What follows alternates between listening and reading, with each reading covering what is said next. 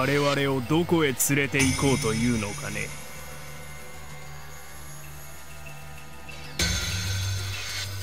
これから皆で大型バスに乗っていただきます。当然今川先生も一緒です。観光気分ではないのだがね。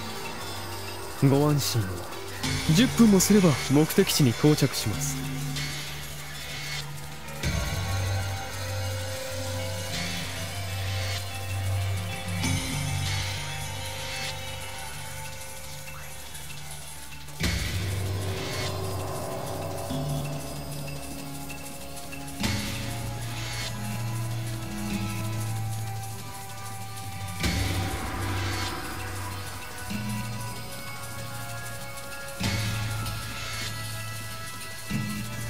ぐらいの距離なら歩いても行ける。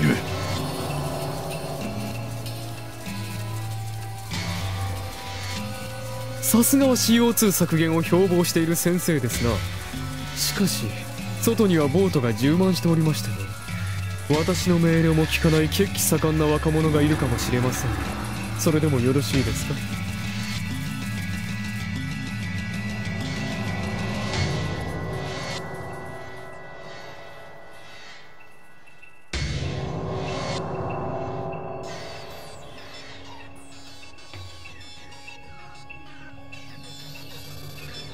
お分かりですね。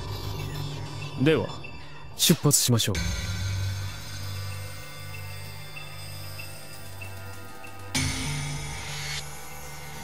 京介おい京介京介ったら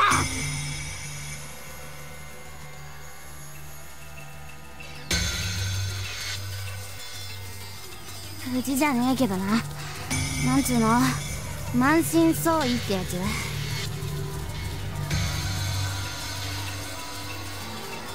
みんな逃げたよ。数だから。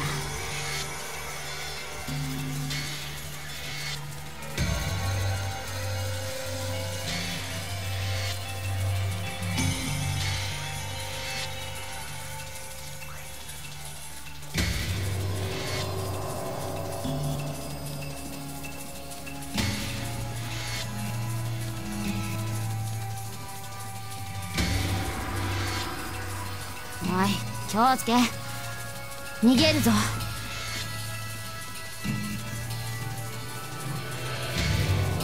いつらまた現れる前に散らかろうぜ。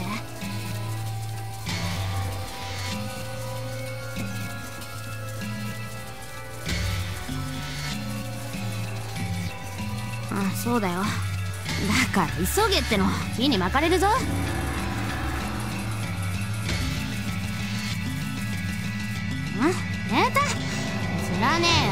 もまた買えよボンボンだろ。あ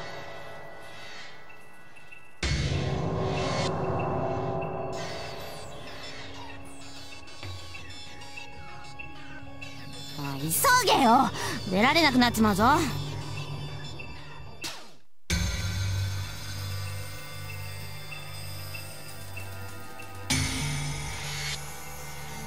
俺もねえよ。こいつらに取られちまった。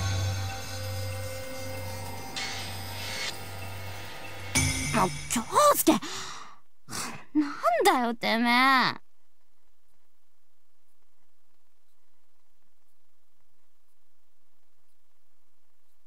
ちょちょっと落ち着けて。お前の考えてることは俺にはわかるですさすがに。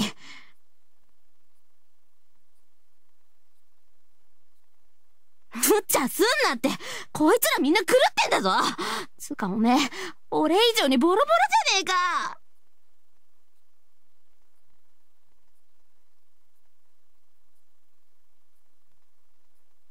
あ、繋がった。自分、携帯電話とか持つの初めてでして。あ、なんだかドキドキしますね。マイ携帯は。ああ、特に用事はないです。繋がるかなと、ドキドキしたかっただけです。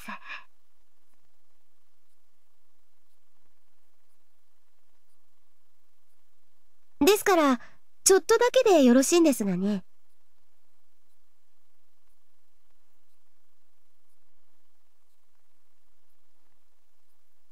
決まりですね。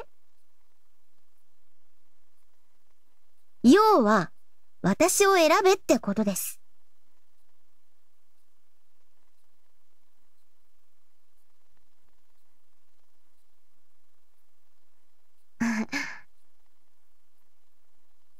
はい？してるじゃないすか。おめかしじゃないすか。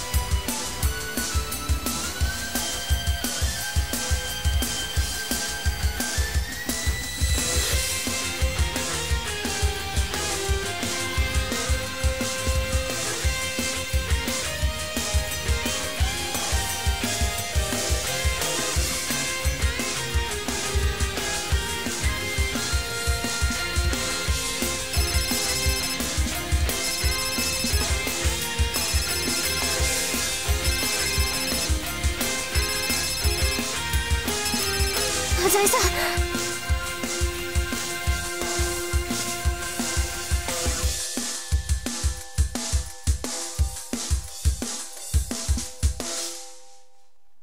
浅井さんこそ変な電話番号からかかってきましたが。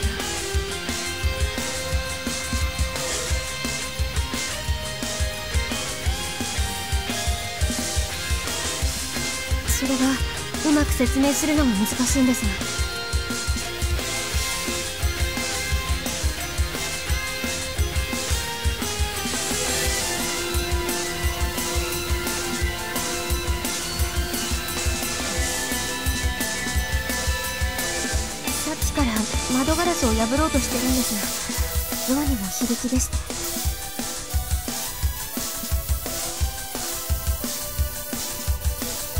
分48か7階の辺りではないかと。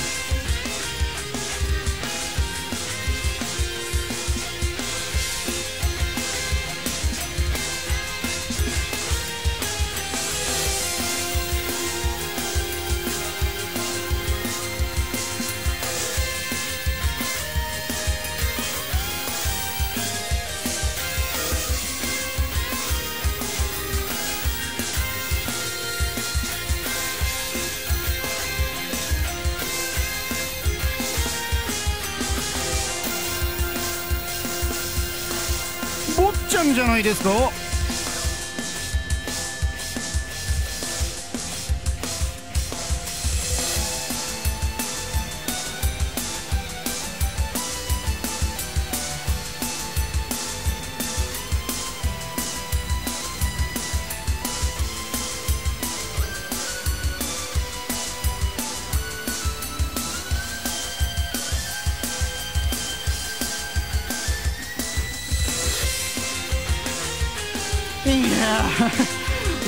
こそ災難でしたね。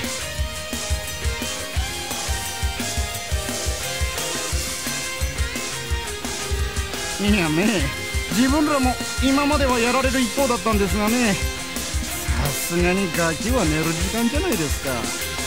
そろそろ反撃に出ようかと思ってたところなんです。何せ親衛会のゴミどもまでガキに加担してるって話じゃないですか。たく親父が許してやった恩を忘れてくれちゃってな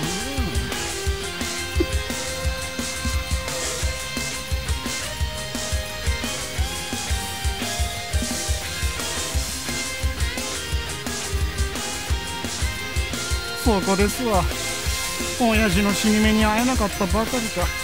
葬式にも顔を出せねえとっては松代までの恥ってやつで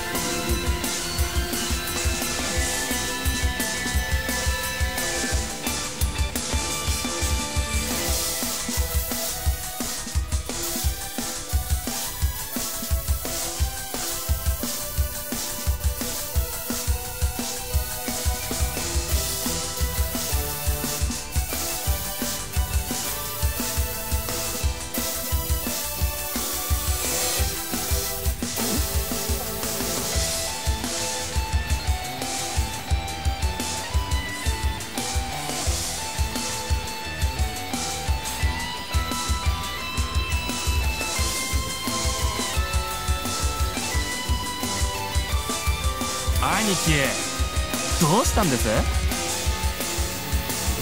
けねえいけねえ。この堀部ついぶるっちまったはい？一瞬。親父が地獄から帰ってきたかと思ったぜ。ありゃやっぱ怪物の息子よ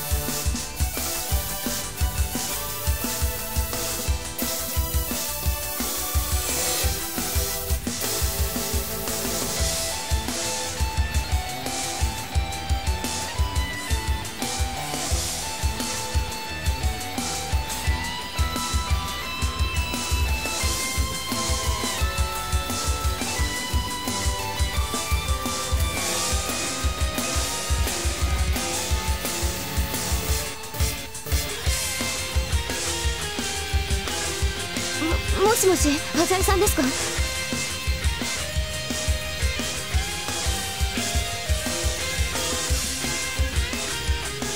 自分だいぶやばいなと。今どちらです？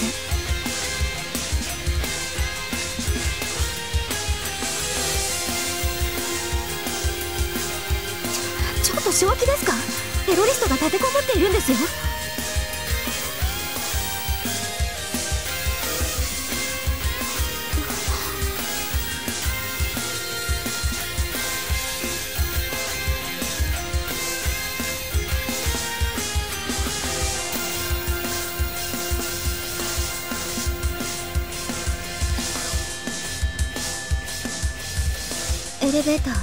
動いてるんですね。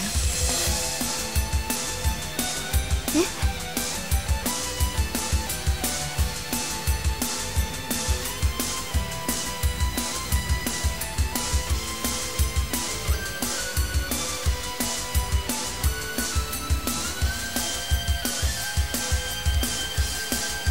えいいやあのですね。ワイヤーが一本切れまして。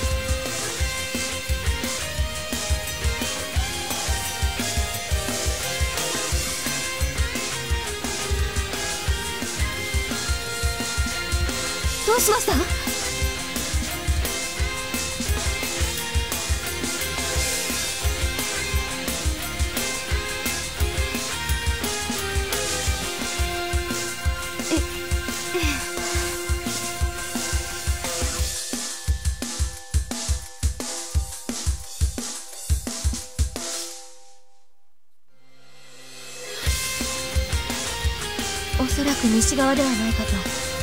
百貨店のデパートがある方角です。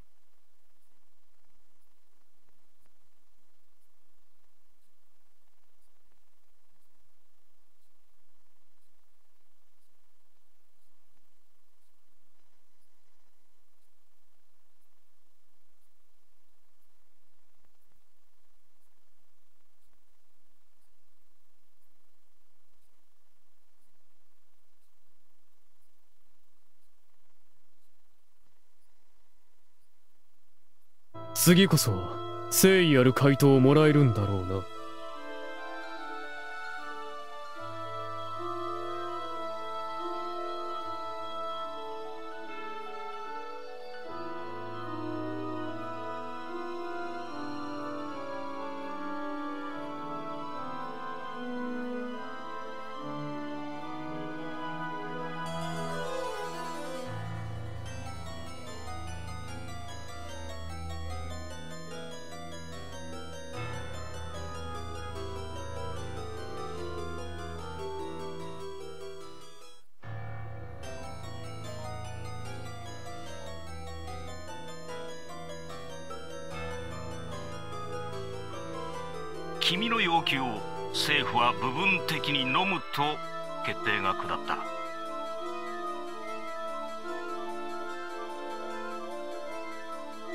商人にはフェイクスという戦術があるそうだがにわかには信じがたいだ。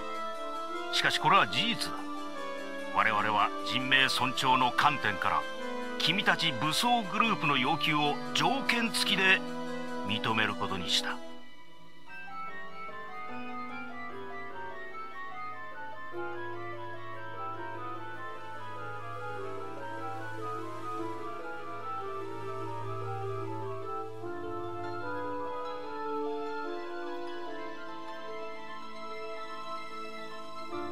条件とは？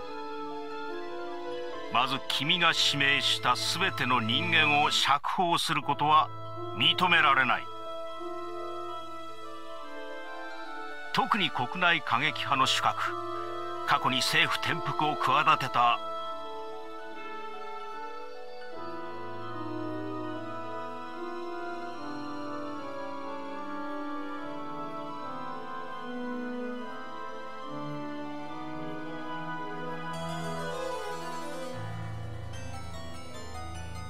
ふざけた条件だな。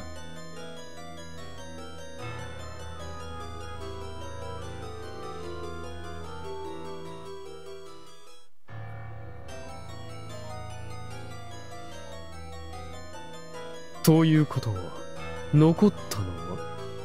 筧陽介。南田君江鮫島利勝の3名だ。ふざけるなたったの3人だと。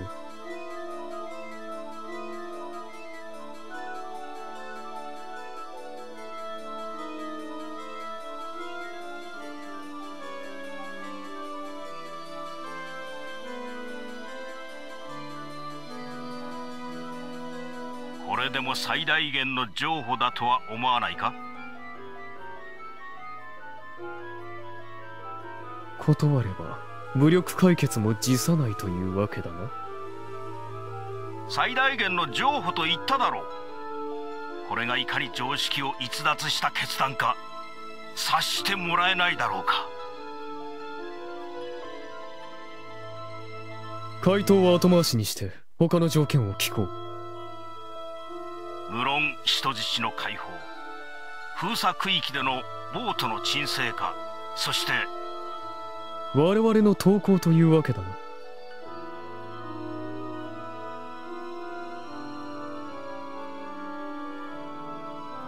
では囚人の身柄についてだが。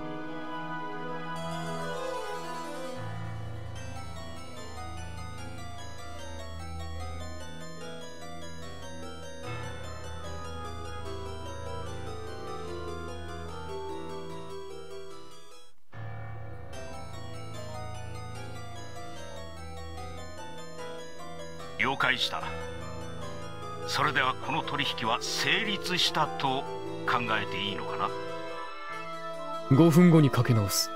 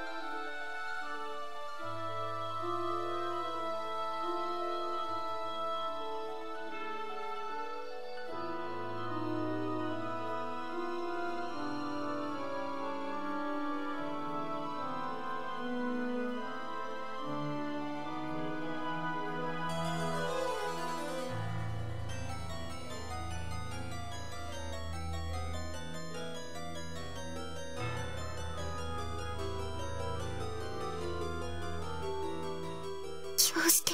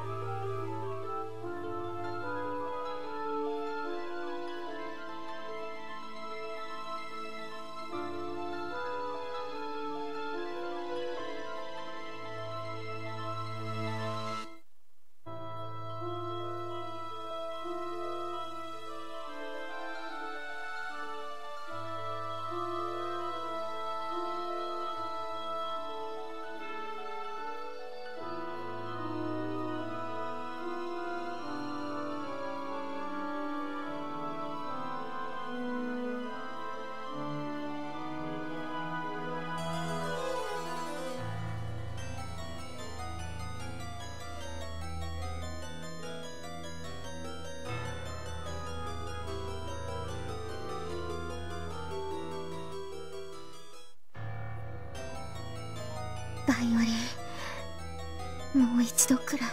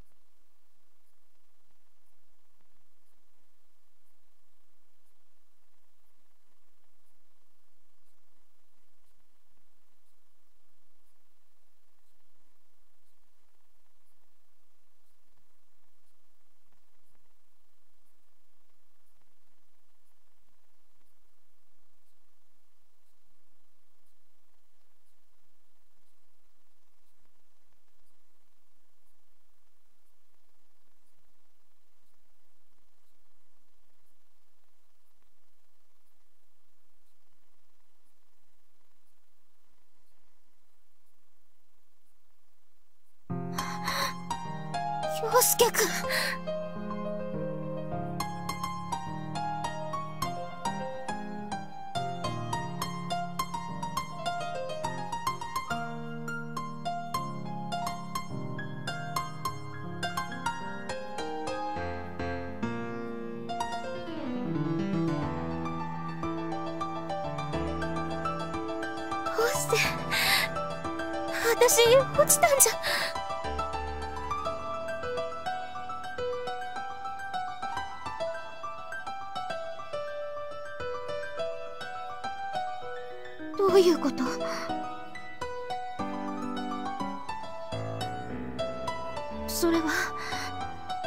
く覚えているけれど。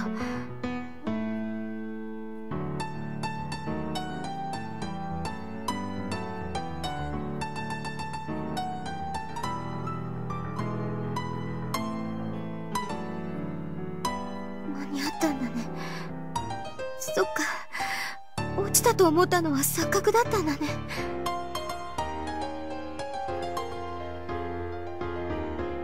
え？